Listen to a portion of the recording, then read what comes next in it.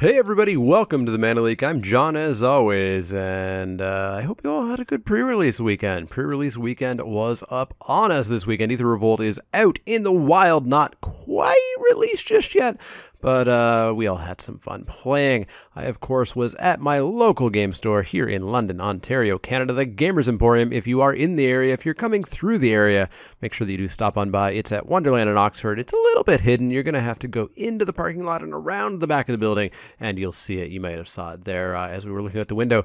We were uh, across the street because the store is relatively small, and our pre-releases are the biggest in the city. We had 62 players uh, during round one of our event. Absolutely crowded space. Uh, our second biggest pre-release that we've ever had. We did have a 64 person one uh, just a few sets ago. We had plenty of door prizes, not to mention the actual prize support. There were uh, all kinds of stuff. It's not just magic cards. We had a dual deck up for prize release. We, of course, had the absolutely gigantic Oath of Ajani available. We had a Star Wars Yoda umbrella. The handle was a lightsaber handle. Very, very cool. Uh, some comics, some sleeves, some deck boxes, some binders, etc. Tons of stuff. Totally random door prize entry. So uh, make sure you do check out the uh, the Gamers Emporium pre-releases if you're ever in the area. And of course, we do FNM. We do Tuesday Night Modern. I think we do some night modern. we do commanders on Saturday. We do cube now and then, and we do a, a very successful sealed league. Uh, so yeah, Pre-release has uh, come and gone. I did two. I did one on the Saturday and one on the Sunday. This footage that you just saw was from the Saturday event. Uh, I will go over my pool. I will go over my deck. I will go over uh, all of that for Saturday, all of that for Sunday. It was overall a, a relatively fun uh, weekend. Uh, Saturday, unfortunately, didn't go great, as we'll talk about in a little bit. Um, this format does seem a little bit swingy, just like Kaladesh did in Sealed. Uh, I imagine the draft will be significantly better better. I think there are a lot of really, really, really, really powerful uncommons, and if you don't open them, I think you're at a serious disadvantage, making this uh, a little bit of a princely format in the sealed aspect. Draft, who knows? We'll have to see. I think in draft, you're going to be able to uh, pick up those powerful uncommons because, of course, everybody can't play every color, right? Anyways, we're going to uh, step on in to my first pool and see what that looked like. All right, so you saw a little bit of the pool there in my uh, super fast deck building uh, bit at the end of there. Uh, this is the white that I had, and the white looks pretty good. Uh, I've got Fairgrounds Warden, double Caught in the Brights, double Dawnfeather Eagle, although I don't know if you ever really want to play two. One's good. Uh, airdrop Aeron- Aeronauts, which is much better than I thought it was going to be. Consul's Shieldguard, and then it falls off a little bit, Propeller Pioneer is fine, Eddytrail Hawk is fine, Ether Inspector is bad, Inspire Charge is only good if you're going wide, and unfortunately this was literally all of the white in my entire pool. Still, it definitely made me consider playing white because, come on, double in the brights, so good. Up next is the blue. This again is all of the blue that I had, and uh, it was just flat out bad. Thriving Turtle, Vedalken Blademaster, probably some of the best cards here, along with Hinterland Drake, which is probably the best card here. Trophy Mage, I had nothing to grab unless I wanted to grab some implements. Metallic Rebuke is fine. Wind, Windkin Raiders is fine. And the rest is just mediocre, if not bad. Efficient Construction, Negate, Ice Over, etc. Blue was my first instant not planet color. Next up is Black, and Black, of course, immediately got my attention because Herald of Anguish was hanging out there, along with a Daring Demolition, an Aether Poisoner, a Die Young, which I think is fine enough as a, uh, a minus two, minus two spell if you get extra stuff. Cool. Unfortunately, it fell away after that. Uh, Renegade's Getaway, Diabolic Tutor, Fretwork Colony, Mind Rot, a pair of Fourth Bridge Prowlers, which, no, I still don't agree they're that good. Uh, I was playing, spoiler alert, a Chandra's Pyrohelix, and not that often did I have a target, and that spell can do two damage. So Fourth Bridge Prowler, I'm not super happy about. And then Maulfist Squad and Alley Strangler, which are fine, and a Night, Mar- Night Market Aeronaut. But unfortunately, black was not looking like a, uh, a heavy color that I could play, and splashing Herald of Anguish and Daring Demolition didn't sound like a great idea. Red was up next, and it was looking in a similar uh, kind of state as Black. We had Freejam Regent by promo Kari Zev, and then it falls falls off a little bit. Chandra's Pyrohelix, a Thriving Grubs, Invig- Invigorated Rampage, and then it falls off a whole lot more. Double Siege Modification, Precise Strikes, which are fine. Ravenous Intruder, just mediocre stuff. Again, fantastic stuff that quickly drops off to not really a solidly playable color. And then there was green There's one card missing from this pile. That was Commencement of Festivities because it didn't need to be involved. I played every single card in this picture except for Aether Herder. Uh, Prey Upon, great removal. Uh, not great, good removal, let's go with that. But there was a Scrounging Bandar, uh, an Aetherstream Leopard, Druid of the Cowl, Servant of the Conduit, Wild Wanderer at uh, ramping stuff, a pair of artifact uh, kill spells, uh, a trio of rares, two of which are extremely playable, and one of which uh, less playable, let's say that. Anyways, green immediately was obviously going to be one of my main colors, and of course that was going to let me ramp a, ramp a little bit. Off in the gold, unfortunately, there's a whole lot of blue, a whole lot of black, some white, stuff that was not really going to be that easily splashed for, as powerful as most of these cards were. And then, of course, we had the artifacts, which was uh, a huge amount of my cards, and they were bad. The artifacts were miserable for the most part. You can see three different implements plus a puzzle knot. We've got double night market guard, torch gauntlet, foundry assembler, filigree crawler. Uh, luckily, there was some good stuff. There was a renegade map, a prophetic prism, a treasure keeper, very very nice, an Iron League steed, and then some other stuff like a Narnam Cobra, welder automaton, uh, and an Aetherflux reservoir, because that's a thing. So this was one of the most mediocre pools I've seen, and in fact, here is all of the removal in the entire pool. Red had nothing but a Chandra's Pyrohelix. Black had a Daring Demolition, probably one of the best, if not the best, uh, removal spells in this pool. And a Die Young, which is alright, I guess. Ice Over is mediocre. Prey Upon's decent. And of course, those three very good white spells that just weren't quite supported. And now just before I show you the deck that I ended up with, I do want to show you one more thing because I don't want you to think that I'm completely crazy. Here is all of the ramp and fixing that I played. A Renegade map to get whatever land I needed, a Prophetic Prism to draw me a card to make whatever mana I wanted, a Servant of the Conduit to make whatever mana I wanted, a Wild Wanderer to make whatever mana I wanted and ramp me along with the Servant, and a Druid of the Cowl to ramp me in green. I'm not crazy, but let's look at the actual deck. Here it is. Here is the monstrosity that is this green and then red and black deck. Uh, much more red than black, and black splashing for two double black pip spells. But let's take a look at the uh, the drops in order. In the one drop slot, just like my Kaladesh pre-release, we had Oviya Pashiri, who is amazing. We had Prey Upon, which is very solid, and a Renegade map, which would help me do the uh, the frankly BS uh, greedy stuff that I was planning on attempting to do with this mediocre pool. Two drop slot is uh, basically where most of my deck is. Thriving Grubs, Druid of the Cowl, Scrounging Bandar, Servant of the Conduit, Narnam Cobra, Monkey Lady, Greenwheel Liberator, uh, and then some removal with Pyrohelix, Die Young, a Natural Obsolescence, an Invigorated Rampage, and a Prophetic Prism. So many two drops. I did not have a problem playing early stuff. Three drops, much more sparse. Aetherstream Leopard, which is amazing, and Appetite for the Unnatural, which of course I think is one of the best main deckable artifact removal spells uh, in the set. Off in the four drop slot, we had Treasure Keeper, which was amazing. I love that card. I will first pick that card in a large number of packs. Wild Wanderer for the fixing slash ramp Iron League Steed, and a Daring Demolition, which I was kind of splashing for, basically, although with all the sources I had, it wasn't terribly splashing. In the five drop slot, I did try Aid from the Cowl. Aid from the Cowl worked when I had Revolt on. Unfortunately, being in sealed, I didn't have a great choice of my Revolt enablers. I had the map, I had the the Scrounging Bandar. I was able to throw servos and stuff at my opponent, and they were either going to take damage or get something off the top. Uh, I got my Freejam Regent off this. I uh, got my Demon off of this. I got lands off of this, and the lands come in untapped. Um, yeah, this is going to be good if you can get an actual, you know, repeatable sort of revolt enabled deck in draft. I'm going to keep an eye on Aid from the Cowl. Uh, I think it can do some stuff. In the six drop slot, we had Freejam Regent, which was amazing. I frequently swung in with this thing for 10 in the air. Solid card. You should never not first pick this in a pack. And then finally, I had Herald of Anguish. I don't know how good Herald of Anguish is because I played it twice and it died immediately. I think it's good but it's going to need to live longer than it ever did in my matches. And so, yeah, that's my greedy, greedy, greedy three color deck with uh, multiple pips in black. Uh, yeah, it wasn't a great pre release for me. My first match I did quite well. I won in two. Uh, I was able to build up, uh, made a bunch of servos and constructs with Oviya, and uh, won that match pretty handily.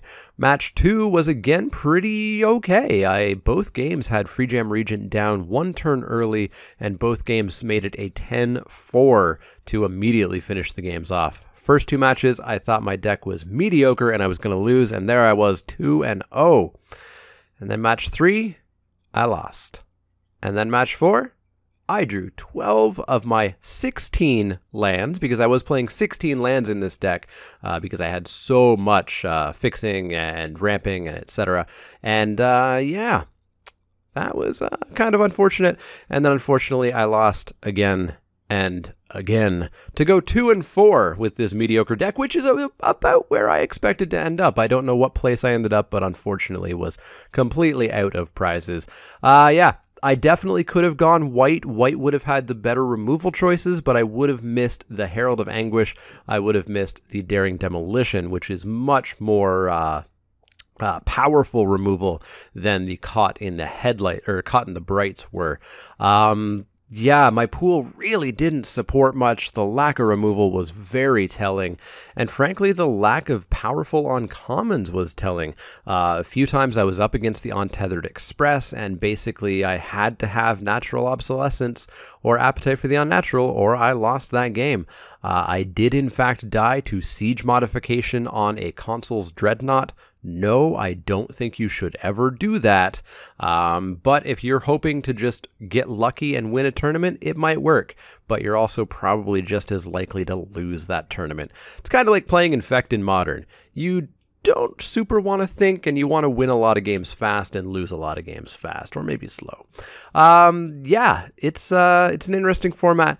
I don't know exactly what I can pull, if I can pull anything, frankly, from uh, from this first pre-release. I think the draft's going to be totally different. But let's take a look at my second pre-release. All right, so Sunday's pre-release was a little bit smaller, only 22 people, as we were playing in the store rather than the uh, the venue across the uh, parking lot from the store, where we can fit a lot more people. But still, 22 people crammed into the store, and we opened up another uh, set of pre-release kits. And I went and sorted all my cards, and uh, I saw my rares, and I wasn't super happy. But here's what my white looked like. I had Sram's expertise and Master Trinketer, Trinketeer, which is a pretty great combo right then and there. Felidar combo, Felidar Guardian. I'm just so so used to talking about it with a combo. Um, has some great utility. Ghirapur Osprey, uh, the trio of removal that I had last uh, uh, pre-release, uh, yesterday pre-release, and could not actually pull off. A pair of Countless Gears Renegades, Aviary Mechanic, and Alley Evasion. Uh, nothing to super write home about here beyond the removal and the expertise in Trinketeer, but, you know, still totally fine. Up next in blue, and I do apologize for the glare a little bit, it's really hard to take a picture of a lot of magic cards with any sort of lighting. Anyways, we had a confiscation coup, which I was super happy about. Whir of Invention, which I don't super care about, but maybe I'd have some good artifacts. We'll see in a little bit. Uh, Bastion Inventor, Pair Shipwreck Morays, Reverse Engineering, um, a couple of other things: Hinterland Drake, Windkin, Windkin Ra- Raiders, Riders, Raiders. I'm gonna have to learn all these new cards. Um, but in general, just not a ton of stuff that was great. But there could have been uh, some blue in this uh, for sure. Black was looking really sorry. We had a gifted Aetherborn. Woo! Uh, an ironclad, ironclad revolutionary is okay. And then not much. A pair of subtle strikes, some vanilla creatures, Fen Hauler, harsh scrutiny. Black was basically instantly cut uh, with so few cards, so shallow, and just meh. We're out on black for sure. Red was up next. You can see my promo there was Pia's Revolution, which is awful, but I did have a Freejam Regent again, and I knew how good Freejam Regent could be from the previous day. Spark of Creativity, Chandra's Revolution round out the uh, pretty solid red up there, uh, and then of course it falls down a little bit. Paraspontaneous Artist, Kari Zev's uh, Expertise was another rare of mine. Um, Wrangle, Siege Modification, nothing exciting going on there. Some stuff pulling me into red, but not quite enough to really uh, uh, push it out. And then just like yesterday, totally stacked green. We've got Blossoming Defense, Highspire Infusion, Peema Outrider, a pair of Lifecraft Cavalries, a Thriving Rhino, Riparian Tiger, Narnam Renegade, uh, Kujar Seedsculptor, again, pair of Druid of the Cowls, uh, both the artifact removals that I really like in an Unbridled Growth. Green looked pretty solid. It was the deepest color by far and was certainly going to be my primary color But would I go with blue or white or red? What would I go with? Well, the gold didn't really help me out. I had a Renegade Wheelsmith and a Restoration Gearsmith. Uh, neither of those color pairs really looked like they were going to work out. And then I took a look at all of my artifacts because, of course, they help you build your decks, right? Utterly, utterly, utterly wrong. My artifacts were horrible. I had five of the automatons, the uh, the red one being probably the most playable if you're being aggressive, uh, the blue one if you're scry if you're being slow and wanting to scry a whole lot, but generally, eh. Uh, two of the implement implements and one puzzle knot, a pair of eager constructs, one foil. The turret, the schematic, the walker, the crawler, the terrible train, mobile garrison's fine, uh, ornithopter just to rub it in, and a cobra. Cobra is probably the most reasonable, most reliably playable card in this entire in this entire pile, unfortunately. And that's kind of one of my problems with this format so far, with sealed specifically, is there's so many bad artifacts and they take up the colored slots in your pool. You can end up with really, really terrible pools if your artifacts are not good. That being said, I don't think that has any impact on draft, and I'm still super looking forward to the draft. Anyways, here's the deck that I ended up with. I did, of course, go solid green, playing again basically every single green card in my pool except for uh, uh, Hidden Herbalists. And I did go with the white because of the Sram's expertise, the Master Trinketeer, and the three removal. Blue was tempting. Red was vaguely tempting, uh, but this seemed to be the most consistent to me. Let's take a look at the uh, individual slots. Up first, in the one drop slot, we had the Narnam Renegade, uh, Blossoming Defense, Alley Evasion, Alley Evasion, and unbridled growth. Growth uh, just to enable revolt because I did have the cavalries as well as the renegade. Uh, not that I ever really cared about enabling re- uh, revolt on the renegade. Uh, alley evasion again for revolt plus just combat trick because I felt I was going to need it because the deck seemed exceedingly fair. Blossoming defense ditto. Two drops again were a little bit stacked, but not quite as much as yesterday. Two Druid of the Cowls for fantastic ramp to uh, get me ahead of my opponents early enough, I hoped. The Cobra, the Lone Artifact, uh, Aviary Mechanic, Seed Sculptor, and uh, uh, Obsolescence and High Spire Infusion in the combat trick slash removal spot. At least today I had some three drops. I had Rhino, which was great, Fairgrounds Warden, which is solid, Osprey, which is good, Trinketeer, which is very, very nice, a pair of the Caught in the Brights, Appetite for the Unnatural as well. Four drop slot, I had the Outrider and the Peema Guard, or the Peema Outrider and the Felidar Guardian. Guardian was great at bouncing the Outrider, as well as bouncing the uh, the Cavalries, which we'll see in a second, to self-enable Revolt. Uh, I bounced the Narnam Renegade sometimes just to enable Revolt. Tons of tricks with Felidar, Felidar Guardian. I like it quite a bit. And Sram's Expertise, which uh, if you cast Master Trinketeer with the free ability, which I did a couple of times, it is a beating. Finally, in the 5 drop slot, we had a pair of Lifecraft Cavalries and a Riparian Tiger. So that's the deck. I built it, and I wasn't super happy. I had the two Caught in the Brights and the Fairgrounds Warden. But that was literally it for removal. Uh, I did not have any Prey-Upons or any um, uh, the other one, the Monstrous Onslaught, any of the awesome green removal.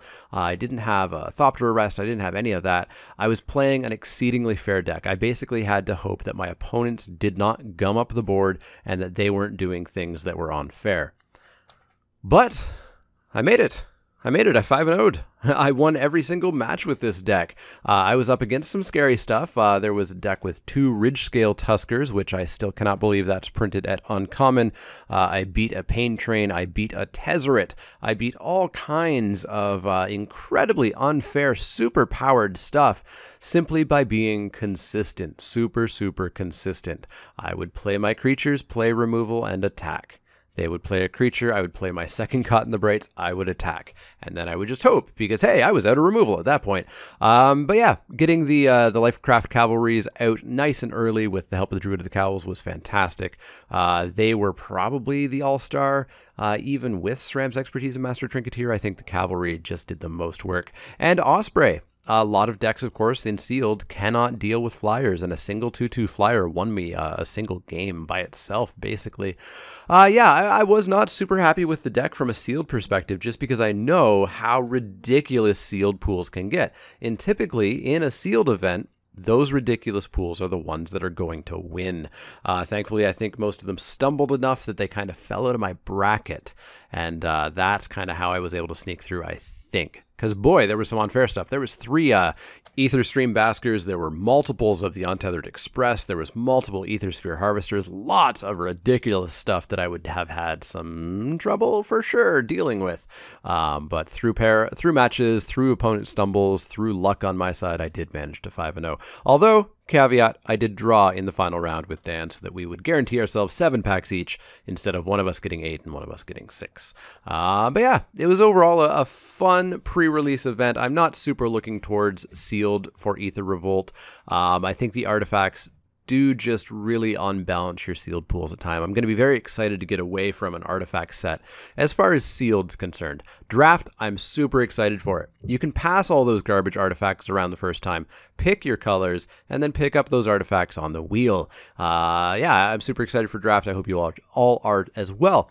Now, what I want to hear is in the comments below how your pre-releases went. How did you do? What did you play? What were the crazy things you saw? And what were your feelings on the format? What do you think about Aether Revolt sealed. What do you expect for Aether Revolt draft? Let me know anything you want to let me know down in the comments below.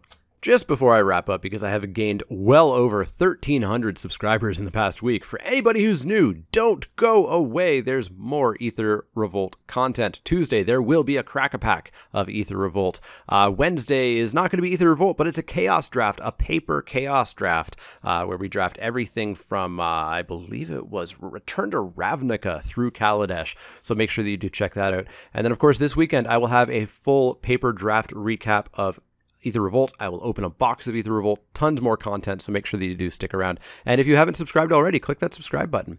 As always, if you have any questions, comments, or suggestions, you can find me on Twitter at the. That's L E E K, like the vegetable, not the card. You can find me at twitch.tv slash the facebook.com slash the and patreon.com slash the if you want to uh, become a backer there. There's a number of reward tiers. And uh, whenever you hit $60, if that takes you one month, 60 months, 120 months, if you're donating uh, 50 cents a, a month, whenever you hit 60 $60, you get yourself the Mana Leek playmat. I will ship that out to you as soon as you hit that lifetime milestone. But that's going to wrap it up for me. Please click that thumbs up button. It super helps the discoverability, which uh, we discovered the past week with all those new subscrib- subscribers. Welcome to all those new subscribers. I hope you do stick around, and I will see you all next time.